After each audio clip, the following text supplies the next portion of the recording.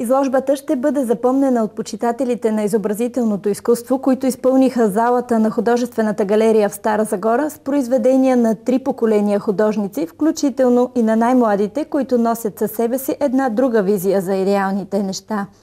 Всички произведения, всеки един от авторите, както на първото, на второто, на третото и на това, носят до себе си своята визия за уния и реални неща, които от 10 години занимават нашето съзнание. Те никога не устаряват. За уния вечните неща, които ни карат да се лутаме между земята и небето, да търсим вечните истини в това, което хората от поколение на поколение носят и да намерят неговия видим образ. Наградата на Община Стара Загора заместник метът Иванка Сотирова връчи на старозагорския художник Валентин Дончевски за творбата му Комета над Копринка.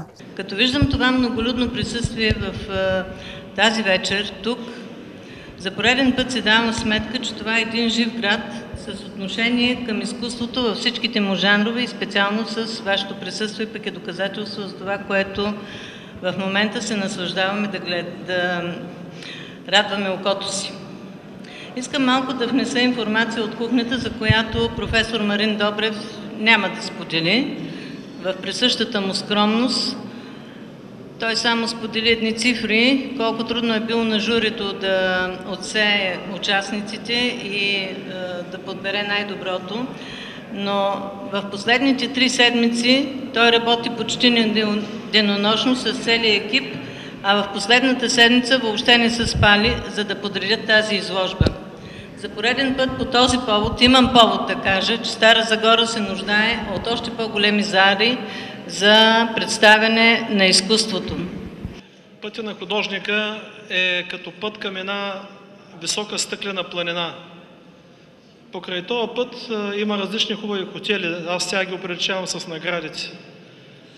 Дали един художник ще отседне в такъв хотел и колко дълго време ще бъде и дали ще продължи, това е вече негов личен въпрос.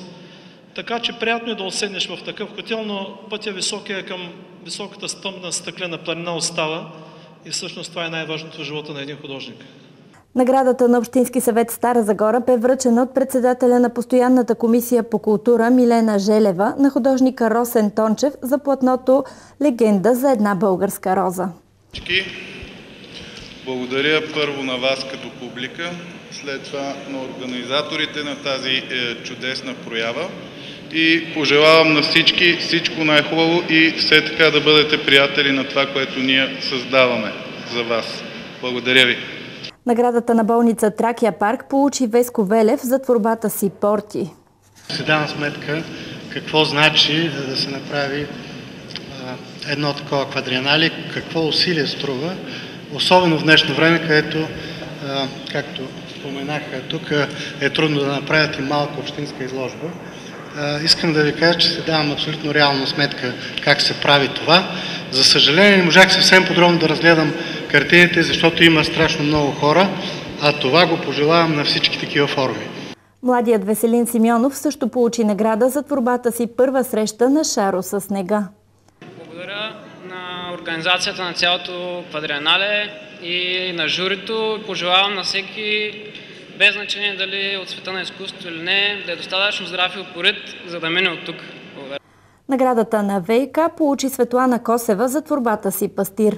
И от мен благодаря на прекрасната галерия Стара Загора и на, и на този хубав град и, и неговата общественост. Да ви пожелая прекрасни рождественски празници и да съхраним любовта към изкуството и духовността в душите си. Журито с председател професор Станислав Памукчиев за първи път присъди приз за дарителство на Марин Маринов. Плакета на областния управител Георги Ранов получи художникът Цветан Колев поради отсъствието на призьора. За първи път отличие беше присъдено и на млад автор, 24-годишния Любен Малчев. Наградата на художествена галерия Стара Загора получи казанлъченката Валентина Лапчева.